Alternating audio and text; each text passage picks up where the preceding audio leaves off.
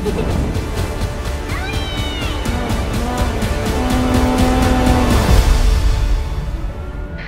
you guys see it at the theater this afternoon?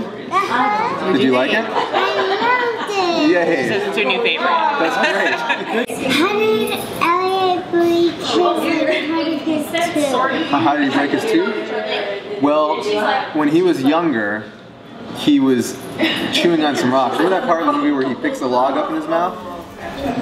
He, he likes to eat logs and trees and rocks and things like that. And at one point when he was a younger dragon, he ate a rock that was a little bit too big and it chipped his tooth.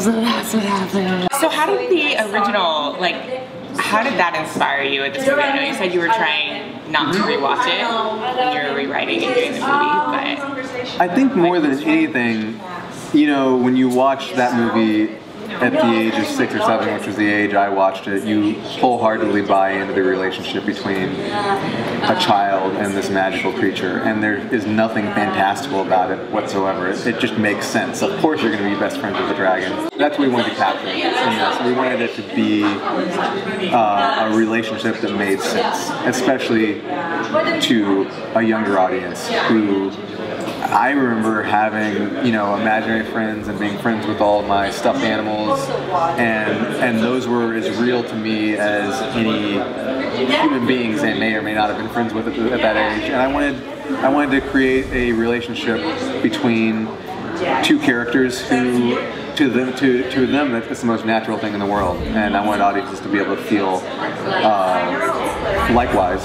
and that's that's what I remember about the original and that's what I definitely wanted this movie to be imbued with. and with Disney, this is your first And Disney, Disney, yeah. This is so how did how did that happen? How does that feel? It's cool. I mean, I grew up loving Disney movies. I never got to go to Disney World because uh, my parents would never take me, but I always wanted to. I'm, I'm the oldest of nine kids. Have you been now? I went to Disneyland in October for the first time, and I went again the other day for the, for the second time. I still haven't been to Disney World. Okay. But I loved Pinocchio was the very first movie I ever saw in the theater. I was obsessed with The Little Mermaid. I was obsessed with Beauty and the Beast. Uh-huh. And Beauty and the Beast. That's when you like. you like Beauty and the Beast? I love that movie. I can still sing all the songs from it. Can you? I bet you could right now. So, so getting to make a Disney movie was not necessarily a dream come true because I wasn't expecting that to ever happen, but it was certainly surreal and ultimately very satisfying. It felt like a, uh, my childhood self would be very proud of me now as an adult for having done it. I grew up definitely running around Disneyland. I had a uh, grandmother that lived in Riverside, and she took me to Disneyland every year. Yeah. And uh, you know, next week I'm gonna be. She's 92 now, and I'll get to take her to the, the to the premiere. Oh, amazing. Uh, another thing I was wondering is, you know, with Pete's Dragon, how that inspired you guys as kids. What do you hope kids get out of this? I mean, this is probably going to inspire the next generation.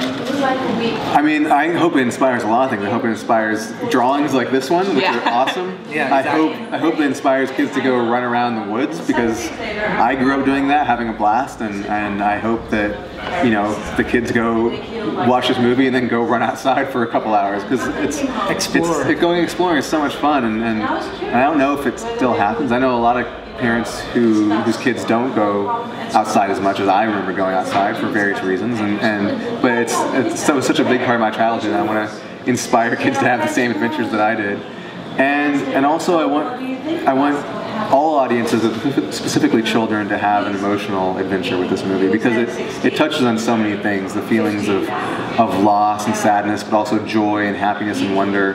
And I find with many family films, um, they don't respect the emotional intelligence of chil- children and what kids are able to handle, the questions they're going to ask, and also the things they need to learn about the world. And I don't want to make a movie that's too scary or violent or, or or, or hard to watch. I, this is I wanted to make the most gentle movie I could, but at the same time make a movie that respects the emotions that I remember having as a child and all the, the feelings, whether they were good feelings or bad feelings that I was trying to process, and to to let audiences, specifically children, know that they're not alone in feeling those things. We wanted to find the right line where you know if, if it if a kid feels up to it, that they, they, they can go see it and not be too worried about it getting too dark or too scary or too violent. Exactly, yeah. You did, did you think it was scary? Uh, Yeah, it's not bad. It's not bad.